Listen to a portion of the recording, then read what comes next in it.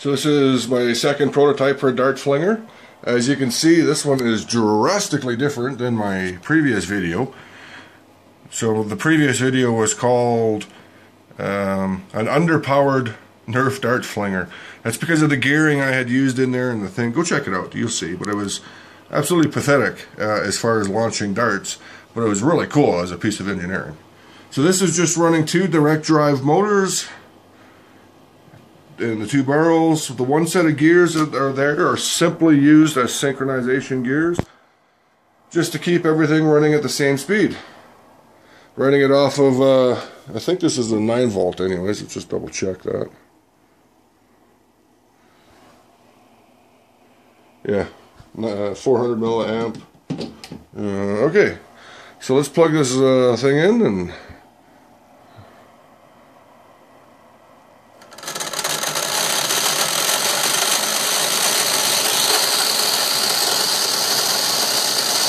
like it takes a few moments to get up to speed. So there it is, just humming away.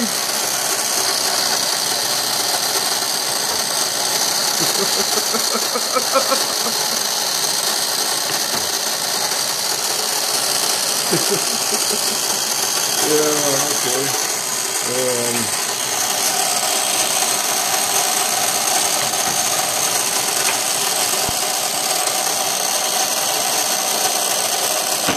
Whoops. If they don't go in quite straight, that's what happens.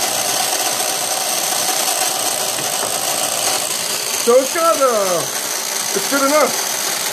It is definitely good enough. It's not like ultra high powered or anything, but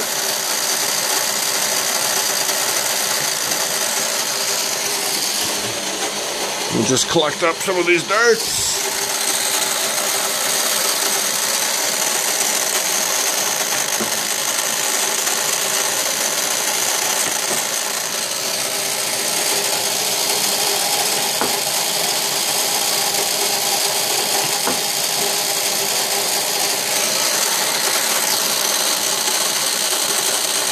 Plug it here. Three, two, one.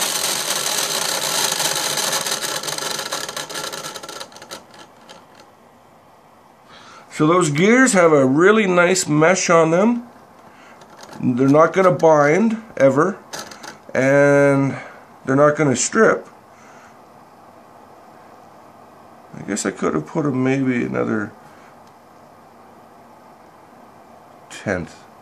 Uh, this is actually the second version of this plate that I made. Uh, the first one was very simple.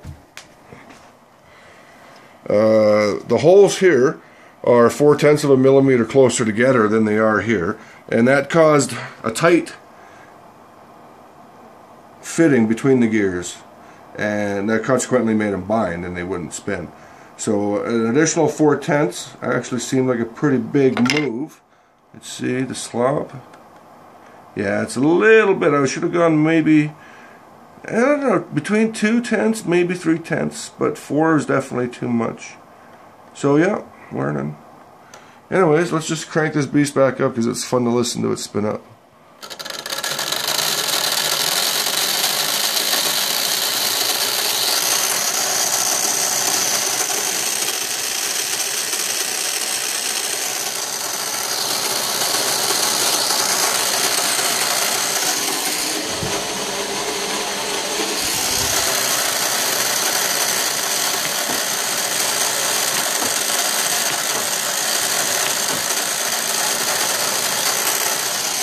What I really like about this, though, is that it doesn't really slow down much.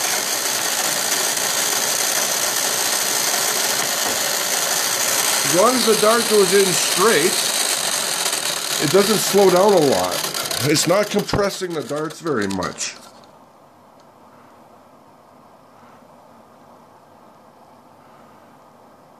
Right? It doesn't need to compress them because it's got a good grip on there and it just whing! So that worked out well. Okay. Now what do I do with it now that I've got this thing